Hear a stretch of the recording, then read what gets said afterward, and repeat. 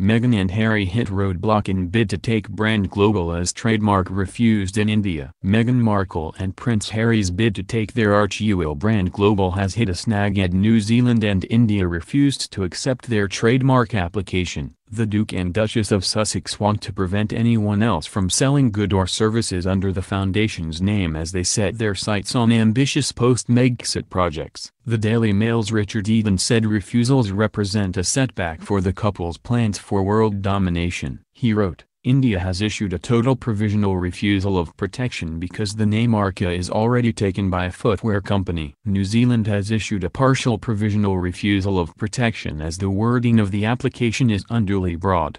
The applications were made under the name of the company Cobblestone Lane. While New Zealand has yet to finalize its decision on granting the trademark to Archewell, India's slapdown could pose huge problems for the Sussexes. The pair are busy building up their empire year on from their exit from the firm. Prince Harry made a guest appearance at a concert in LA last weekend to promote COVID vaccines.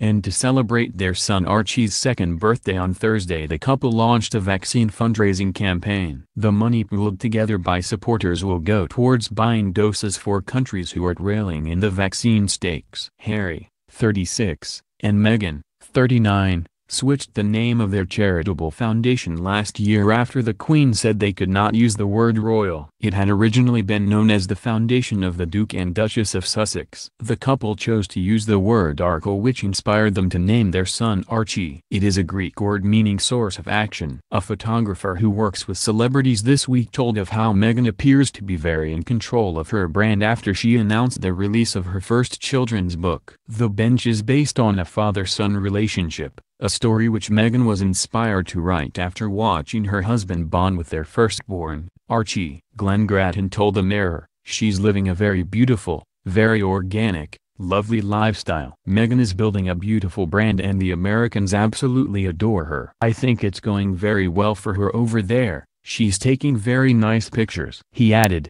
I think she would have had the final say and chosen the cover and the images. She's very in control of her brand. As they set their sights on taking their brand onto the global stage, the Sussexes are showing no signs of looking back. They have set down deep roots in the U.S., having snapped up an 11 million pound mansion in California last year. The sprawling home surrounded by lush gardens is in the Santa Barbara neighborhood of Montecito. They count Oprah Winfrey and Orlando Bloom among their famous neighbors.